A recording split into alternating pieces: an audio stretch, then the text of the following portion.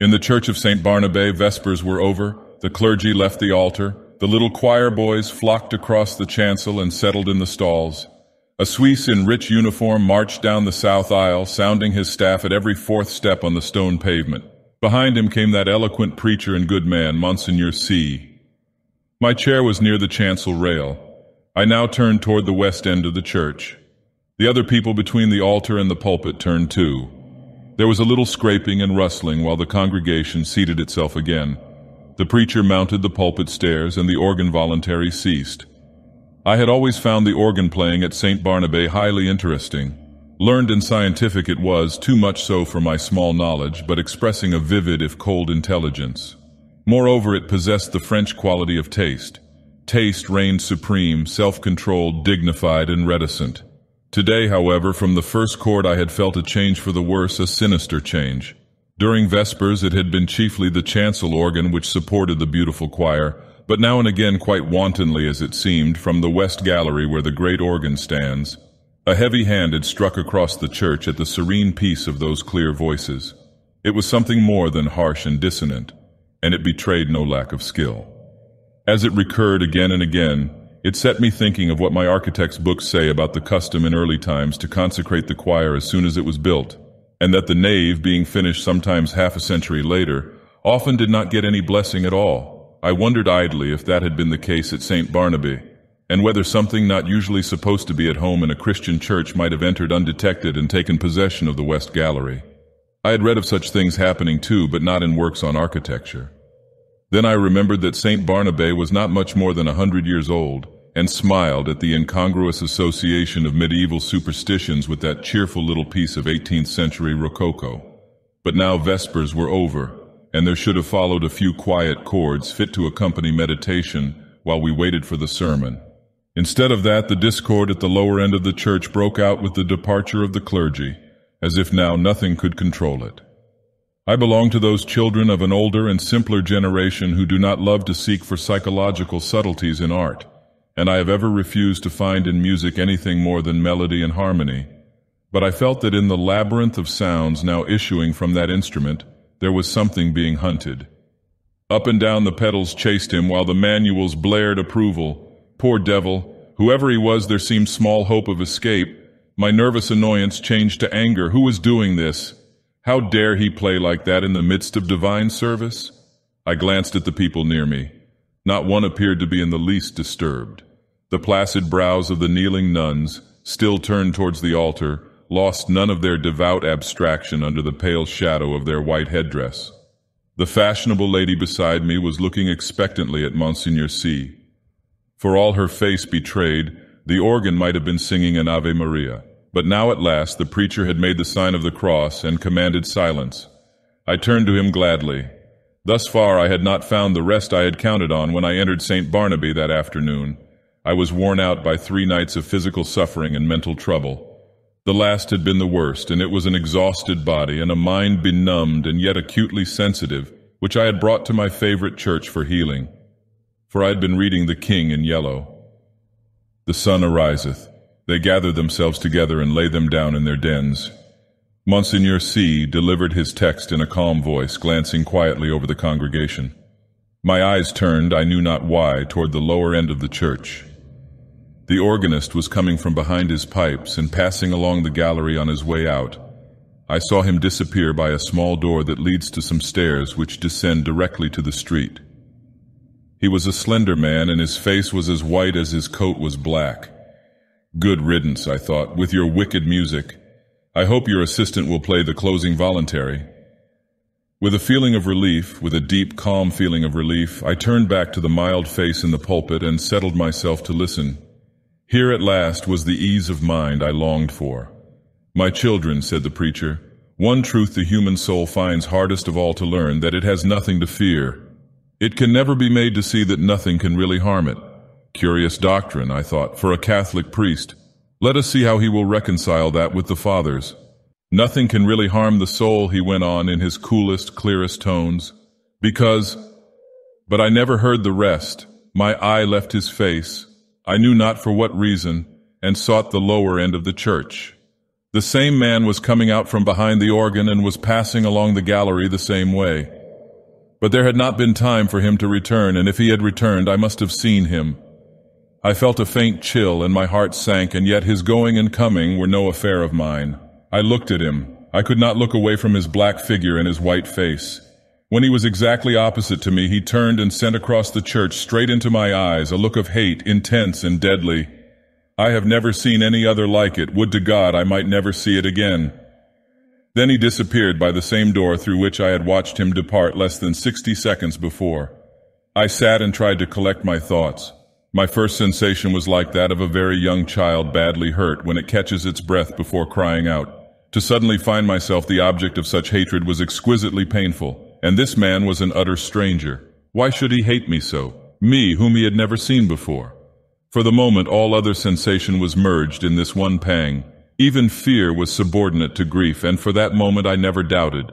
But in the next I began to reason, and a sense of the incongruous came to my aid. As I have said, St. Barnabé is a modern church. It is small and well lighted. One sees all over it almost at a glance.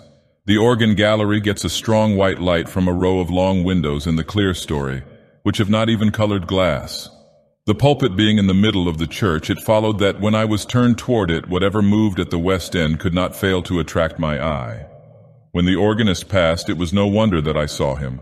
I had simply miscalculated the interval between his first and his second passing. He had come in that last time by the other side door.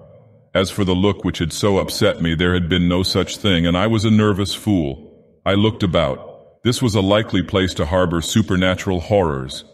That clear-cut, reasonable face of Monsignor C., his collected manner and easy, graceful gestures, were they not just a little discouraging to the notion of a gruesome mystery? I glanced above his head and almost laughed. That flyaway lady supporting one corner of the pulpit canopy, which looked like a fringed damask tablecloth in a high wind at the first attempt of a basilisk to pose up there in the organ loft, she would point her gold trumpet at him and puff him out of existence. I laughed to myself over this conceit, which at the time I thought very amusing, and sat and chaffed myself and everything else. From the old harpy outside the railing, who had made me pay ten centimes for my chair before she would let me in, she was more like a basilisk, I told myself, than was my organist with the anemic complexion. From that grim old dame to, yes, alas, Monsignor C. and himself. For all devoutness had fled. I had never yet done such a thing in my life, but now I felt a desire to mock. As for the sermon, I could not hear a word of it for the jingle in my ears of the skirts of St. Paul has reached, having preached us those six Lent lectures more unctuous than ever he preached, keeping time to the most fantastic and irreverent thoughts. It was no use to sit there any longer. I must get out of doors and shake myself free from this hateful mood. I knew the rudeness I was committing, but still I rose and left the church. A spring sun was shining on the Rue Saint-Honoré as I ran down the church steps. On one corner stood a barrow full of yellow jonquils, pale violets from the Riviera, dark Russian violets, and white Roman hyacinths in a golden cloud of mimosa. The street was full of Sunday pleasure seekers. I swung my cane and laughed with the rest. Someone overtook and passed me. He never turned, but there was the same deadly malignity in his white profile that there had been in his eyes. I watched him as long as I could see him. His lithe back expressed the same menace. Every step that carried him away from me seemed to bear him on some errand connected with my destruction. I was creeping along, my feet almost refusing to move. There began to dawn in me a sense of responsibility for something long forgotten. It began to seem as if I deserved that which he threatened. It reached a long way back a long, long way back. It had lain dormant all these years. It was there, though, and presently it would rise and confront me. But I would try to escape, and I stumbled as best I could into the Rue de Rivoli, across the Place de la Concorde and onto the quay. I looked with sick eyes upon the sun shining through the white foam of the fountain pouring over the backs of the dusky bronze river gods on the faraway arc, a structure of amethyst mist on the countless vistas of gray stems and bare branches faintly green. Then I saw him again coming down one of the chestnut alleys of the Cours la Reine. I left the riverside, plunged blindly across to the Champs-Élysées, and turned toward the Arc. The setting sun was sending its rays along the green sward of the Rond Point. In the full glow, he sat on a bench, children and young mothers all about him. He was nothing but a Sunday lounger like the others, like myself. I said the words almost aloud, and all the while I gazed on the malignant hatred of his face. But he was not looking at me. I crept past and dragged my leaden feet up the avenue. I knew that every time I met him brought him nearer to the accomplishment of his purpose and my fate, and still I tried to save myself. The last rays of sunset were pouring through the great arc. I passed under it and met him face to face. I had left him far down the Champs-Élysées, and yet he came in with a stream of people who were returning from the Bois de Boulogne. He came so close that he brushed me. His slender frame felt like iron inside its loose black covering, he showed no signs of haste, nor of fatigue, nor of any human feeling. His whole being expressed one thing, the will and the power to work me evil. In anguish I watched him where he went down the broad crowded avenue that was all flashing with wheels and the trappings of horses and the helmets of the Garde Republicaine. He was soon lost to sight, then I turned and fled. Into the bois and far out beyond it, I know not where I went, but after a long while, as it seemed to me, night had fallen, and I found myself sitting at a table before a small cafe. I had wandered back into the bois. It was hours now since I had seen him. Physical fatigue and mental suffering had left me no power to think or feel. I was tired, so tired. I longed to hide away in my own den. I resolved to go home, but that was a long way off. I live in the Court of the Dragon, a narrow passage that leads from the Rue de Rennes to the Rue du Dragon. It is an impasse, traversable only for foot passengers. Over the entrance on the Rue de Rennes is a balcony supported by an iron dragon. Within the court, tall old houses rise on either side and close the ends that give on the two streets. Huge gates, swung back during the day into the walls of the deep archways, close this court after midnight, and one must enter then by ringing at certain small doors on the side. The sunken pavement collects unsavory pools. Steep stairways pitch down to doors that open on the court. The ground floors are occupied by shops of second-hand dealers and by iron workers. All day long the place rings with the clink of hammers and the clang of metal bars. Unsavory as it is below, there is cheerfulness and comfort and hard, honest work above. Five flights up are the ateliers of architects and painters, and the hiding places of middle-aged students like myself who want to live alone. When I first came here to live, I was young and not alone. I had to walk a while before any conveyance appeared, but at last, when I had almost reached the Arc de Triomphe again, an empty cab came along and I took it. From the Arc to the Rue de Rennes is a drive of more than half an hour, especially when one is conveyed by a tired cab horse that has been at the mercy of Sunday fête makers. There had been time before I passed under the dragon's wings to meet my enemy over and over again, but I never saw him once, and now refuge was close at hand. Before the wide gateway, a small mob of children were playing. Our concierge and his wife walked among them with their black poodle, keeping order. Some couples were waltzing on the sidewalk. I returned their greetings and hurried in. All the inhabitants of the court had trooped out into the street. The place was quite deserted, lighted by a few lanterns hung high up, in which the gas burned dimly. There was a scraping of chairs on the stone floor and a rustling as the congregation rose. I could hear the Suisse's staff in the south aisle preceding Monsignor C. to the sacristy. The kneeling nuns, roused from their devout abstraction, made their reverence and went away. The fashionable lady, my neighbor, rose also with graceful reserve. As she departed, her glance just flitted over my face in disapproval.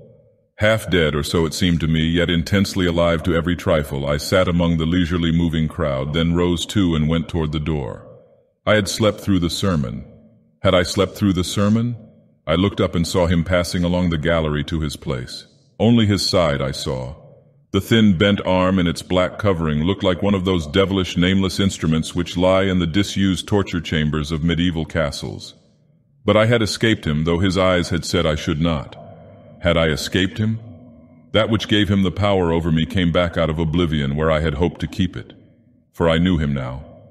Death and the awful abode of lost souls, whither my weakness long ago had sent him. They had changed him for every other eye, but not for mine. I had recognized him almost from the first.